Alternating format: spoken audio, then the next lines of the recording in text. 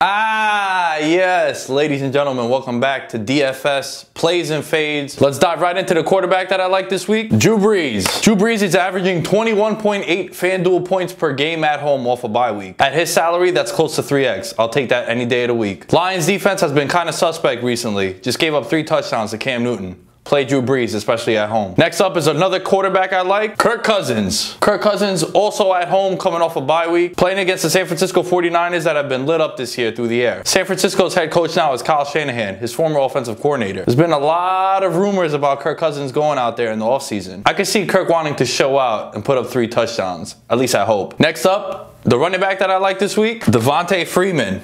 The Atlanta Falcons are a 12-point favorite at home against the Miami Dolphins. 75% of Devonta Freeman's touchdowns come at home. And a game that Atlanta should be cruising throughout, I think Freeman's going to be a bell cow back this week. Next up, another running back that I like this week, and it pains me to say this, CJ Anderson, Denver Broncos. The Giants are nowhere near the same defense they were last year. They can't stop the run. In a game where the Broncos are also favored by 12 points, similar to Atlanta, I see Denver running the ball late in the game. In three of the four games this year, CJ Anderson has seen 20 plus touches. Moving on over to the wide receiver position, a wide receiver I like this week, and it might surprise you, Amari Cooper. All right, here's the thing. Let me explain this. It's gotten a little out of hand. On DraftKings, Amari Cooper is $5,000 ridiculous. And I know he's been laying an egg week in, week out, and he's been featured on this side of the board many times. Let me make this clear. Amari Cooper is the ultimate tournament play this week.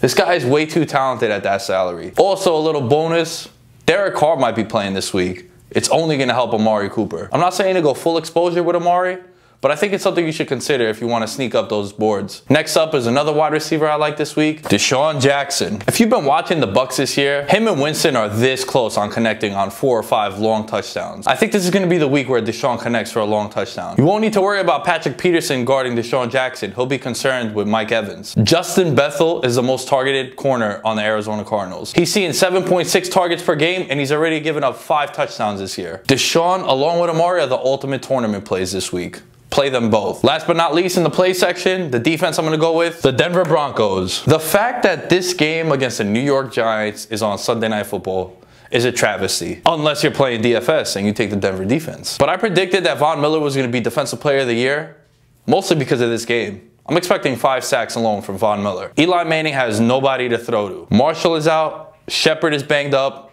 and OBJ bedtime, get well soon, my friend. I can easily see Denver putting up 20 points as a defense, which is crazy to say, but that's what I think their floor is this week.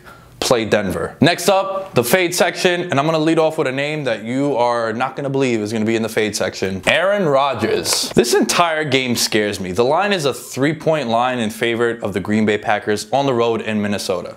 Minnesota is a better team at home, especially their defense. Last year when Rodgers played this Minnesota Vikings defense on the road, he only accounted for one touchdown through the air. At his salary, he doesn't even come close to value if he puts up those numbers again. Next up, the running back that I'm fading this week, and it sucks because he's on my yearly team, Carlos El Guapo Hyde. Here's the thing, there's just way too much BS going on in the San Francisco backfield, and I don't even want to worry about it. In a game where they're a 10-point underdog, might abandon the run early, I'm staying away from Carlos Hyde. Next up, the wide receiver that I don't like this week, Jordy Nelson. Jordy Nelson is probably going to be covered by Xavier Rhodes, the number one corner on Pro Football Focus this year against the pass. Rhodes got paid this offseason and is one of the top corners in the NFL and he's proving his worth. Rodgers could easily put up a two catch, 20 yard and a touchdown line, but at his salary, it's not even worth it. I'd much rather go elsewhere. Next up, another wide receiver that I'm fading this week, Mike Evans. Last year, Tampa Bay played the Arizona Cardinals. In that game, Mike Evans saw 18 targets, six catches for 70 yards and a touchdown. Here's something you're not hearing on all these DFS shows. The Tampa Bay Bucs lost 40 to 7 to Arizona. After Arizona went up three touchdowns, Peterson wasn't even shadowing Mike Evans. In a game where Tampa Bay is favored, I see this game being a close game, and I see Peterson being draped all over him. Too much money to pay up for Mike Evans. Much rather go elsewhere. Last but not least, in the fade section, the defense that I'm fading this week, the Houston Texans. This might be a surprise to you. DeShone Kizer is not starting this week for the Cleveland Browns, and Kevin Hogan,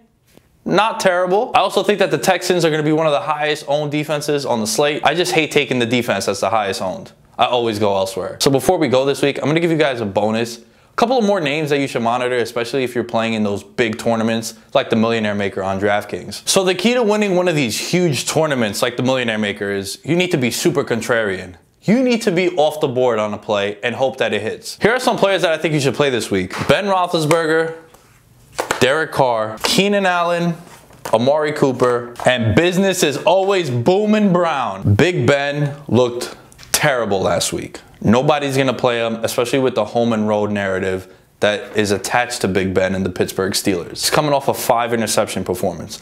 Last year against the same exact Kansas City Chiefs team, granted at home, 22 of 27 for five touchdowns and 300 yards. This is a guy that could light it up at 1 to 2% ownership. With that kind of upside, it's worth a flyer. Pair him with Antonio Brown, who's not going to see Marcus Peters this week. The reason why is Antonio Brown, 70% of the time, lines up away from where Marcus Peters lines up. Antonio Brown at this point, he's matchup proof. 19 targets last week against the number one defensive pair in the NFL, Jacksonville Jaguars. And also, if you look over here, I have a little unconventional stat. Derek Carr hasn't played in a couple of weeks. And Amari Cooper has looked dreadful. This is a guy in Amari Cooper we were playing with confidence at $7,500 on FanDuel. Now we're getting him $1,100 cheaper. This is a guy similar to Big Ben that might see in the very low single digit ownership this week. I like Keenan Allen also because he has a favorable matchup, the number one receiver on the LA Chargers, and you get exposure to the other side with this pairing. Good luck this week. If you want to find me, you can find me at LambVM10 on Twitter, Instagram, and Snapchat.